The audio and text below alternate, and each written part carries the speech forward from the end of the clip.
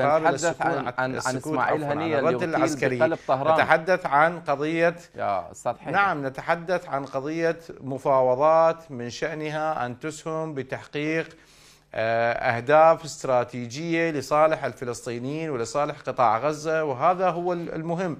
ما حدث اليوم لا المهم هذا المهم أنه ايران أن أستاذ حيدر المهم أنه إيران. تستثمر كل حدث سواء على اراضيه أو خارج اراضيه يخص المحور أو ما يخصه. تستثمر كل هدف لمصلحتها هذا المهم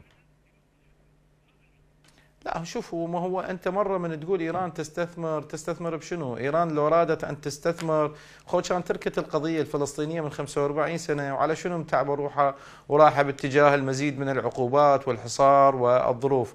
لا لو كانت القضية هي الفلسطينية؟ ما أنا ما أروح إيران لهذا الموضوع. بهذه ال...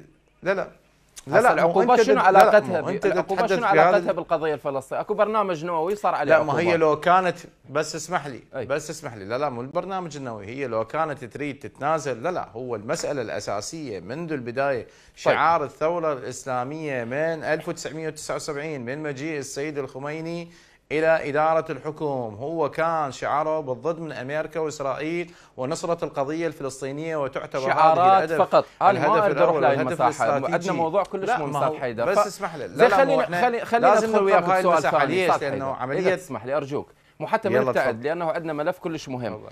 أسأل أسألك هنا هسه الانفجارات اللي صارت آه، فيما يخص هذا الجهاز آه، في لبنان وبسوريا بالعراق موجود هذا الفصائل العراقية تستخدم هذه الأجهزة؟